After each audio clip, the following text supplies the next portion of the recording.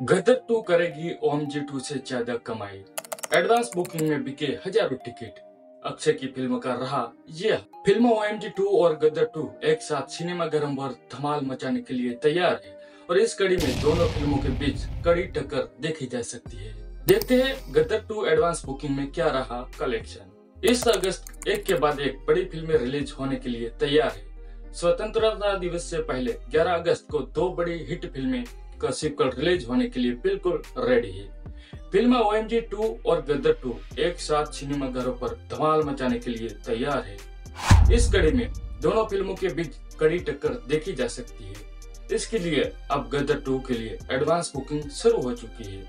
बता दें कि पिछले साल भी अक्षय कुमार की रक्षाबंधन और आमिर खान की लाल सिंह चड्डा एक ही दिन सिनेमा घरों पर रिलीज़ हुई थी।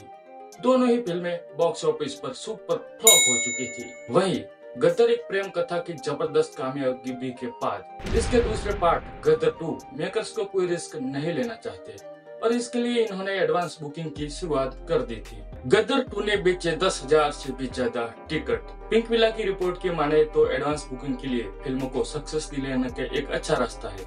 गदर टू ने अब तक पीवीआर के लिए एक हज़ार सात सौ टिकट आइनॉक्स के लिए 1200 टिकट और सिनेपोलिस के लिए 5200 टिकट बेची है। इस तरह फ़िल्म ने अपनी रिलीज़ के आठ दिन पहले ही शानदार बुकिंग कर ली है। कहा जा रहा है कि फ़िल्म अपनी ओपनिंग पर 25 करोड़ रुपए तक का कलेक्शन कर देगी। ओ टू का रहा ये हाल।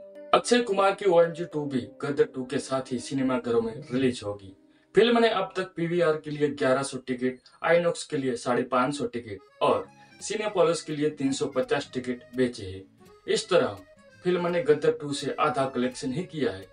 बता दें कि ओ एम टू को लेकर काफ़ी विवाद भी चल रहा है, जिसके बाद फ़िल्म में काफ़ी बदलाव करते हुए यह सर्टिफिकेट दिया गया था। ये है कहानी, जहाँ गदर टू भारत और पाकिस्तान की जंग की कहानी है।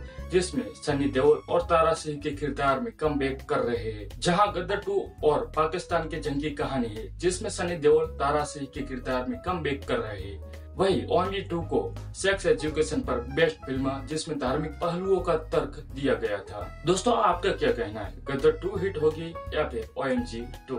क्योंकि दोनों फ़िल्में और दोनों एक्टर दमदार है, पर कई सालों के बाद सन्नी पाजी आ रहे हैं। देखते क्या होगा इस फ़िल्म में। बने रहिए इस वीडियो के साथ। वीडियो अच्छा लगे तो लाइक कमेंट शेयर ज़रूर करें। फिर से मिलेंगे एक नए वीडियो के साथ। तब तक के लिए धन्यवाद।